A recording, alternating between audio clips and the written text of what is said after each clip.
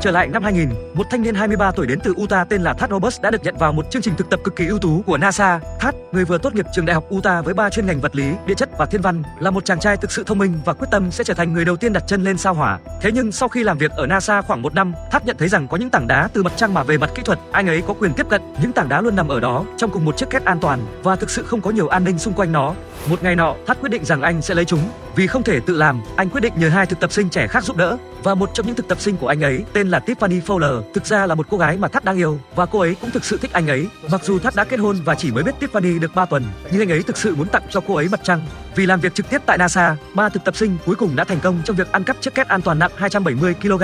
Một thời gian sau đó, Thắt và Tiffany mang những tảng đá đến một phòng khách sạn và đã ABC trên chúng. Cuối cùng, Thắt đã cố gắng bán những tảng đá có giá trị thực tế lên đến 21 triệu đô la, nhưng vì người mua nghi ngờ và đã liên lạc với FBI nên các thực tập sinh cuối cùng đã bị bắt. Họ đã phải ngồi tù 6 năm vì tội ăn trộm và làm ô nhiễm đá.